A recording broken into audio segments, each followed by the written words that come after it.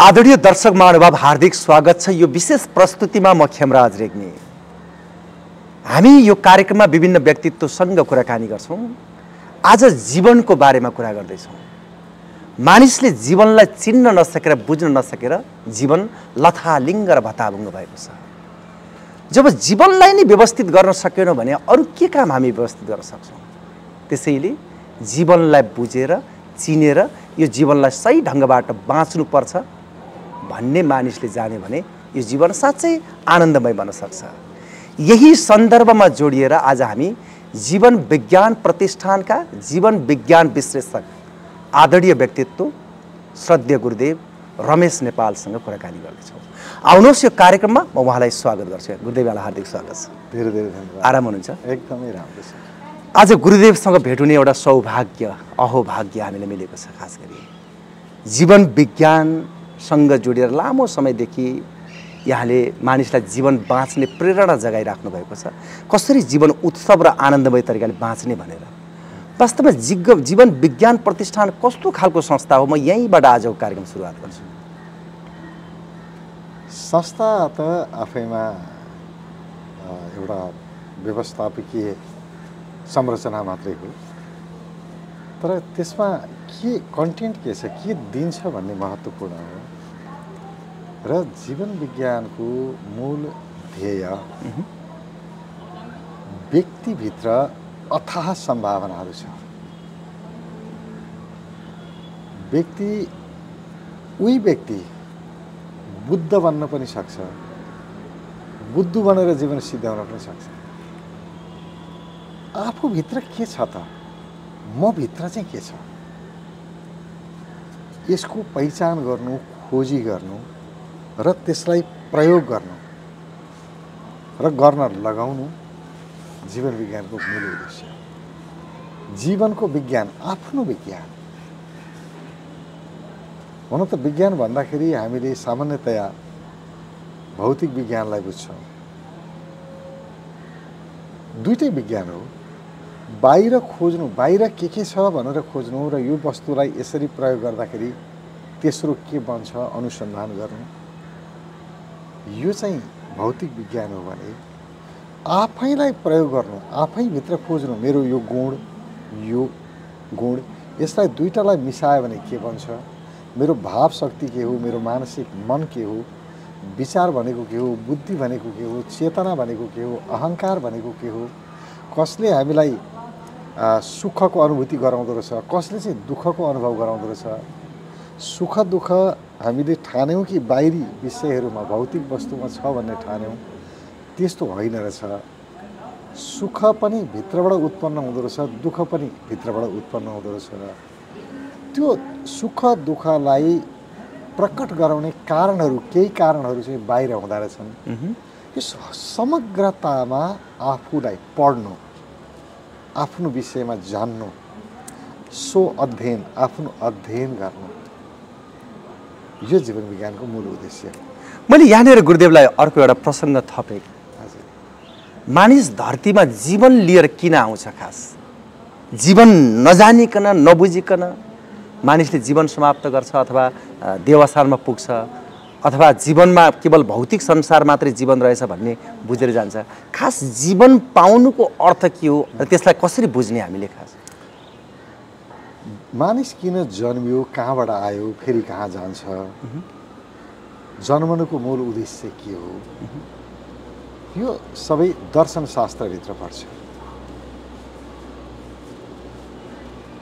मलाई के लाग्छ भने यसको उत्तर खोजिरहनुभन्दा पनि महत्त्वपूर्ण जीवन त आयो नि त।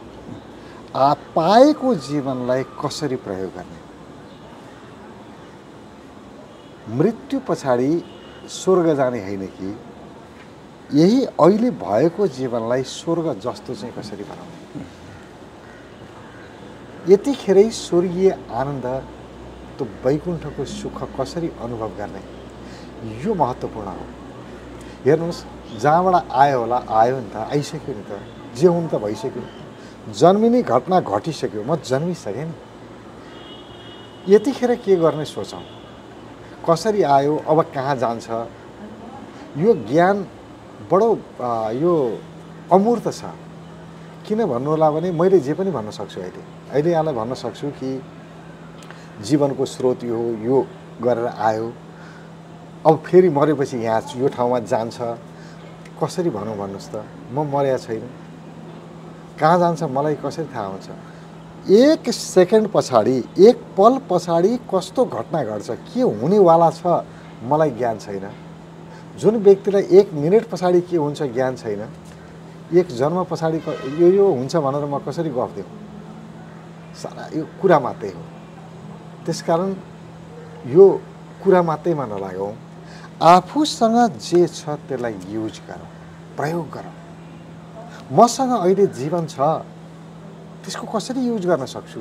मसँग बुद्धि छ विवेक छ मन छ भावना छ त्यसलाई म कसरी व्यवस्थित गर्न सक्छु? मसँग गुणहरू छन् अवगुणहरू छन् पढ्नु पऱ्यो नि आफूलाई। मेरो गुण कति छन् मेरा अवगुण कति छन्? मसँग सबलता पनि छ दुर्बलता पनि छ। म कुन कुन विषयमा दुर्बल छु? मेरो कमजोरी के के हो? थाहा पाउनु पऱ्यो नि मैले। र मेरा सबल पक्षहरू के के छन्? कुन कुन विषयमा म सबल छु त्यो पनि मैले थाहा पाउनु पऱ्यो नि। आफ्नो अध्ययन गर्नु पऱ्यो र हामी भन्छौँ फलानाले मलाई हेप्यो फलानाले दुःख दियो। हामीलाई कसैले दुःख दिँदैन कसैले हेप्न सक्दैन कसलाई हेप्छ भने म जुन विषयमा कमजोर छु हो त्यसलाई हेप्छ। मानिसले पनि कमजोरलाई नै हेप्ने हो। बिमारीले पनि कमजोरलाई हेप्छ। जो मान्छे कमजोर छ त्यो हेप्छ। मैले आफूलाई सबल कसरी बनाउने? कुन कुन क्षेत्रमा कमजोर छु कहाँ कहाँ दुर्बलता छ र त्यसलाई हटाउने विधि के हो तरिका के हो यसको खोजी गर्नु र आफूलाई समन समुन्नत बनाउनु समग्रतामा आफ्ना क्षमताहरूलाई जागृत गर्नु चाहिँ यो सार्थक कुरा हो। यो हाम्रो हातमा छ यो वर्तमान हो यतिखेर हामी गर्न सक्छौँ।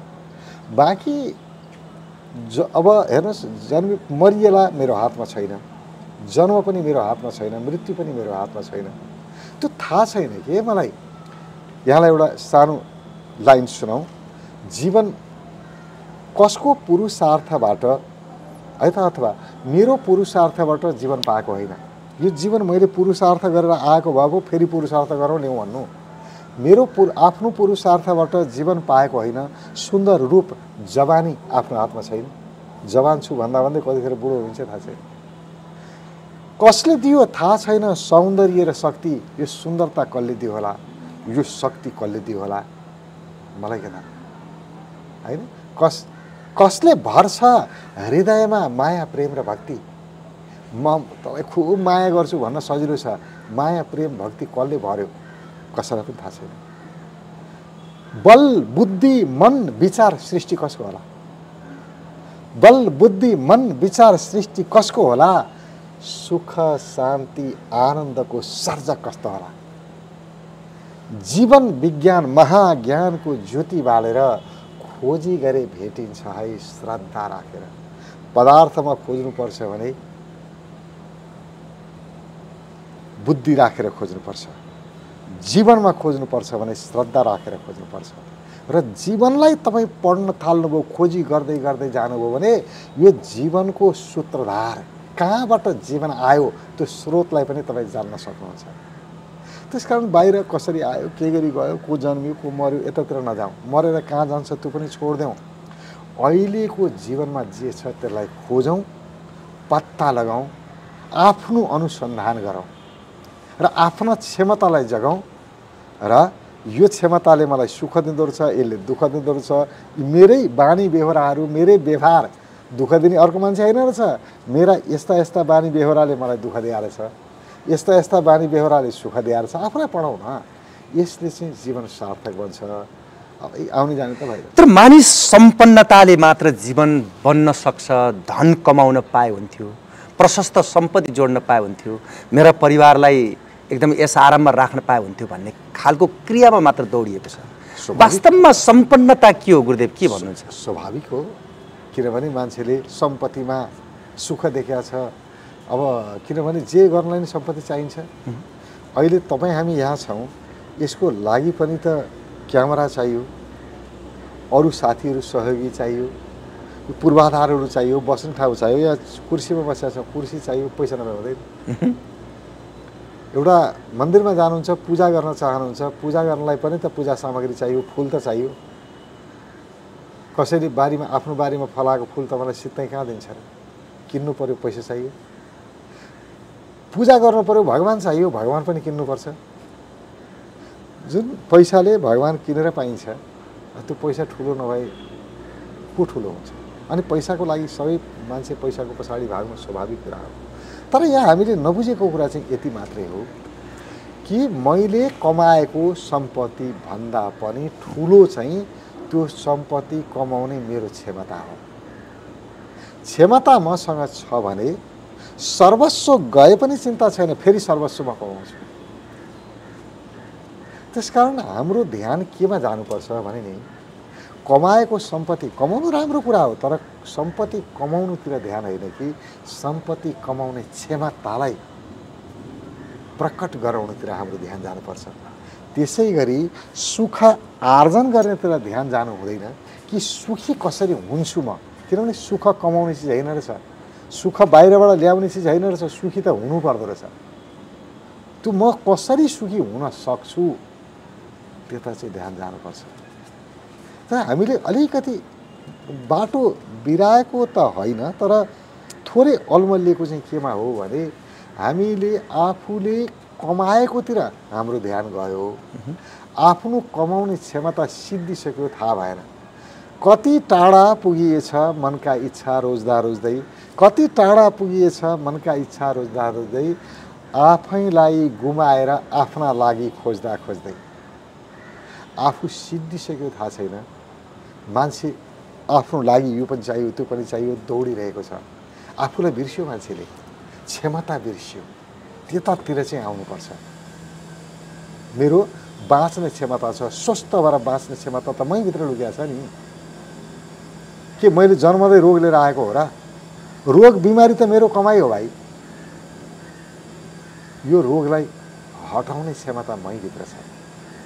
स्वस्थ भएर यस्तो होस् कि मर्ने बेलामासम्म पनि खाँदा खाँदै लाउँदा लाउँदै हिँड्दा हिँड्दै गफ गर्दा गर्दै जान सकियोस् कि? बिस्तारामा थला पर्नु नपरोस् अरूले स्याहार्नु नपरोस्। त्यो क्षमता मभित्र छ। त्यसलाई जगाउँ। त्यसै एउटा सन्दर्भ गुरुदेव। जात धर्मभन्दा माथि उठेर एउटा व्यक्तिलाई जीवन कसरी प्रेरणादायी बनाउने भन्ने सन्देश प्रवाह हामीले गरिरहेका हुन्छौँ। तर मानिस धर्म र अध्यात्मलाई नबुझेर दुःख पाइरहेछ कि? अब हेर्नुहोस् यो धर्म कस्तो रहेछ भने कसैलाई नमानिकन कोही बस्नै सक्दैन। अस्ति एकजना मित्रसँग मेरो कुरा भएको थियो उहाँले भन्दै हुनुहुन्थ्यो मलाई यो ढुङ्गा पूजा गरेर देखेपछि रिस उठ्छ।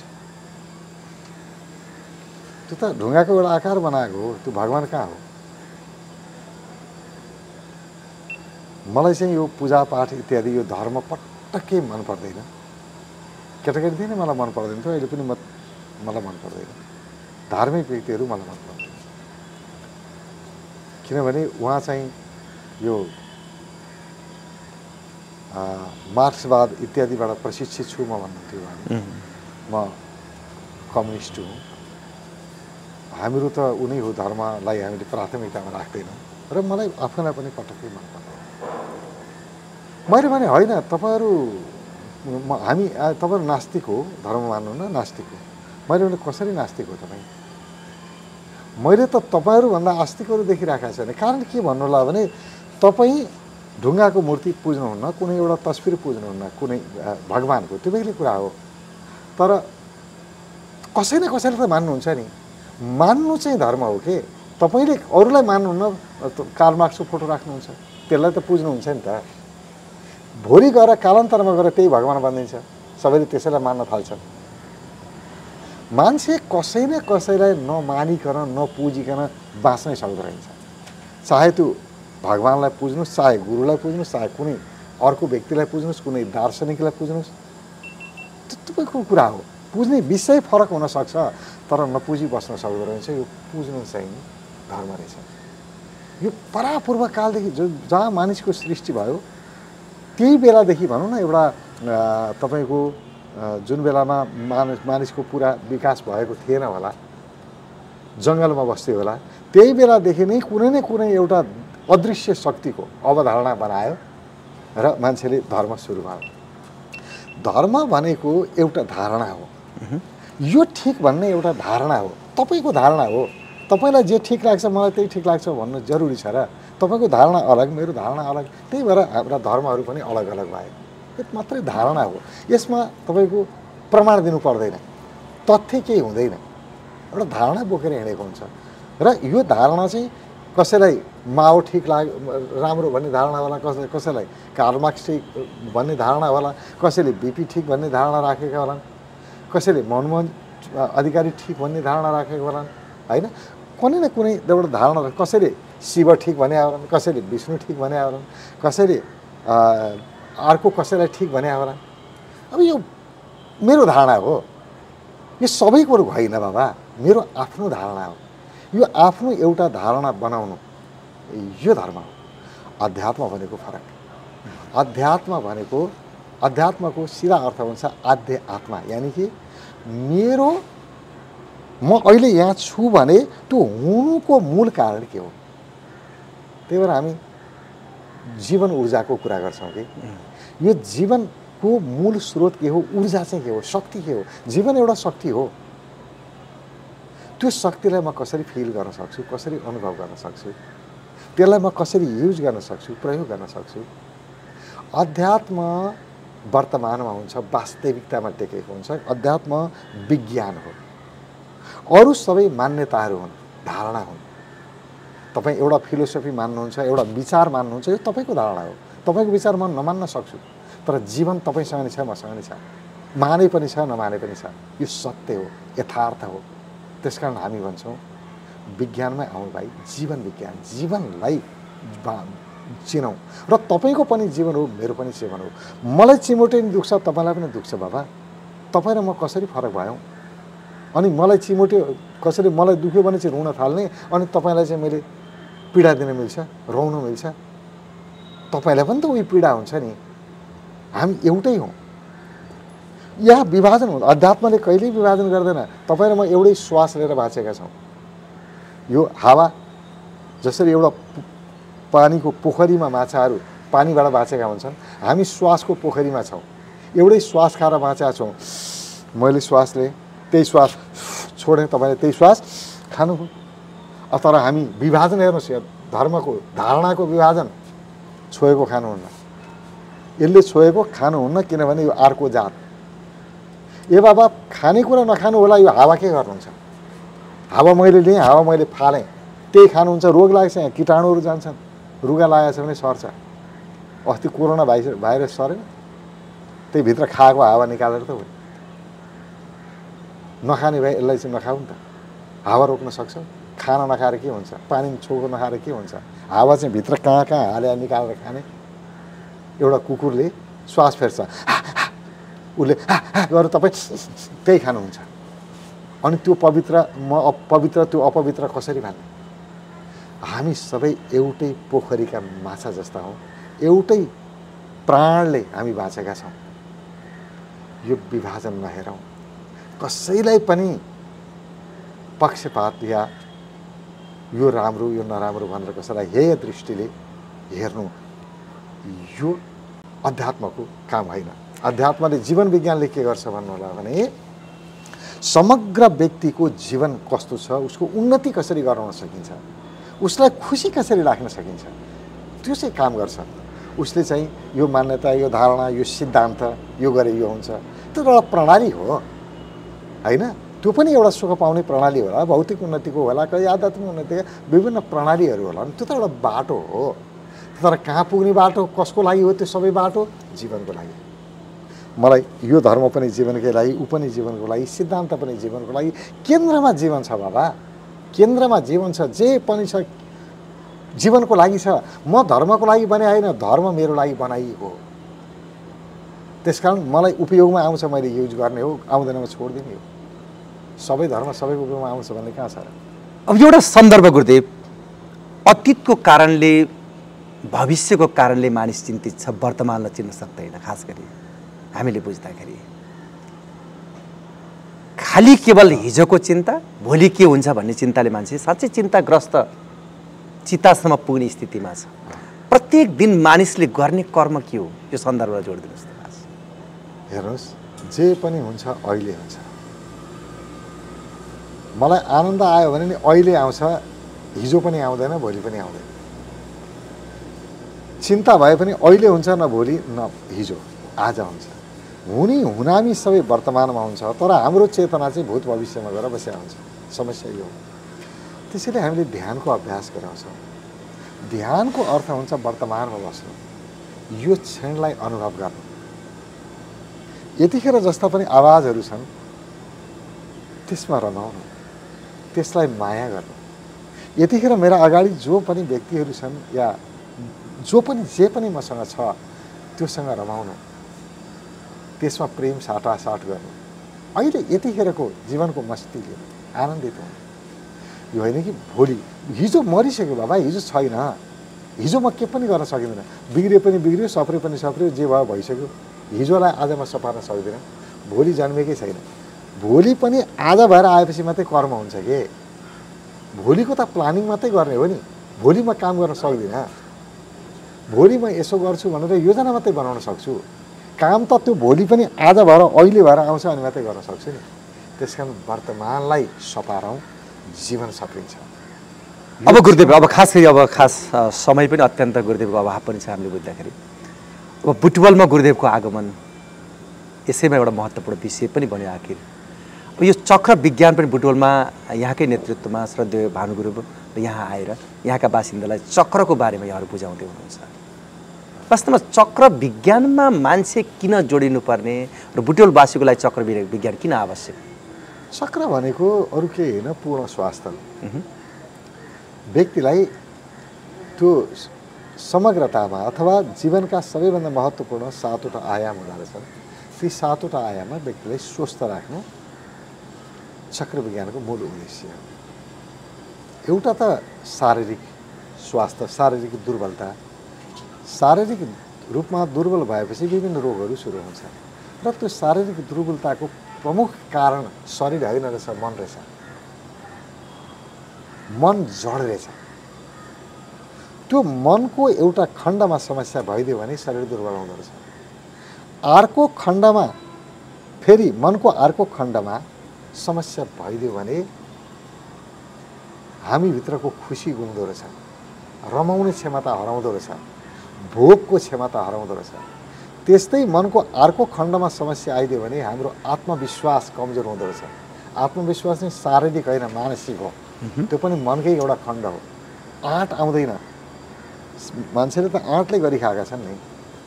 अब आँटै छैन केहीमा हिम्मतै छैन। के गर्छ त मान्छेले? आफूभित्रको हिम्मत आँट। कसरी जगाउन सकिन्छ? तेस्रो खण्ड। मनकै मनै हो अरू के पनि होइन। तेस्रो खण्डमा जाने। अर्को मन नै हो अरू के पनि होइन। मनको अर्को खण्डमा प्रेम हुन्छ। सहकार्य गर्ने क्षमता हुन्छ। मिलेर काम गर्न सक्ने टिममा बसेर काम गर्न सक्ने अरूलाई जस दिन सक्ने दया प्रेम करुणाको भाव हुन्छ। त्यो पनि मनकै एउटा तह हो। मनभन्दा बाहिर जानै पर्दैन। मनबाटै भेटिन्छ सबै। त्यसलाई कसरी सबल बनाउने? र अर्को हुन्छ त्यो पनि मन नै हो। स्मृति स्मरण ज्ञान बुद्धिमत्ता मेरो आफ्नो मूल क्षमता। मूल क्षमतालाई हामी के भन्छौँ? मूल बाटो यानि कि जीवनको मूल हाइवे। म सबै काम गर्न सबै मान्छे जन्मे होइन कि? म के को लागि जन्मिया हुँ? मैले जुन काम गर्दा म रमाउन सक्छु त्यही काम गरेर अर्को रमाउँदैन। र अर्को रमाएको काम म गरेँ भने म त्यसमा रमाउन सक्दिनँ मेरो चाहिँ बाटो के हो? ज्ञान। यो क्षमता पनि कहाँ छ? मनभित्रै छ। अर्को दृढता अठोट सङ्कल्प। मैले बोलेपछि बोलेँ म गर्छु। त्यो दुई मन हुन्छ नि यो गरौँ कि त्यो गरौँ? यो दो मनबाट मुक्त भएर एउटा ठोस निर्णय गर्न सक्ने क्षमता। यो पनि मनमै छ। र आनन्दित हुन सक्ने क्षमता पनि मनमै छ। यो दुखी हुने पनि मन रहेछ आनन्दित सुखी हुने पनि मनै रहेछ मनभन्दा बाहेक केही पनि छैन। यी मनका सातवटा क्षेत्रहरू यसलाई हामीले सबल बनाउन सक्यौँ भने हामी समग्र स्वास्थ्य पूर्ण स्वास्थ्यमा उपलब्ध हुन्छौँ।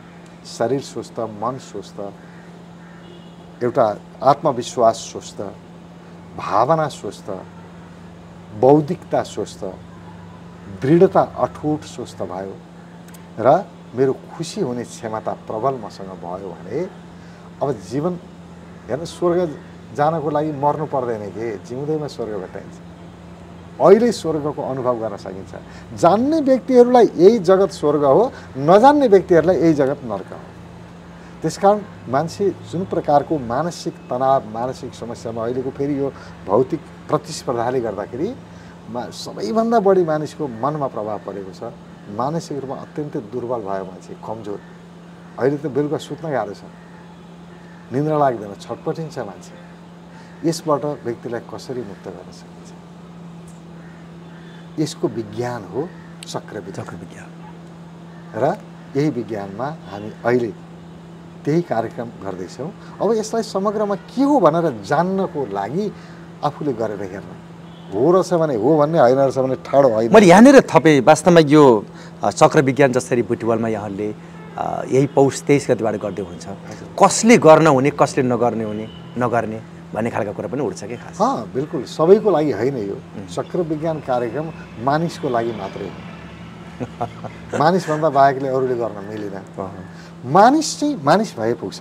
जुनसुकै जात जुनसुकै लिङ्ग जुनसुकै धर्म जुनसुकै उमेर सामान्यतया के भन्छ गम्भीर स्वास्थ्य अवस्था भएको मान्छेले गर्न सक्दैन सामान्यतया के भनिन्छ भने पाँच वर्षभन्दा कम उमेर समयकोले भएन किनभने उसले त्यसलाई लिन सक्दैन अनि एक सय सोह्र वर्षभन्दा माथिकोले पनि हुँदैन त्यो बिचको उमेर जसले गरी पनि हुन्छ र स्वास्थ्य स्थितिसँग स्वास्थ्य त बिग्रिया भएर त बनाउन आएको नि स सबै कुरा राम्रो भइदियो त मान्छे किन आउँथ्यो र त्यसकारण यो बिमारी भएको मान्छेले गर्नुहुन्छ यो बिमारी भएकोले गर्न हुँदैन भन्ने होइन।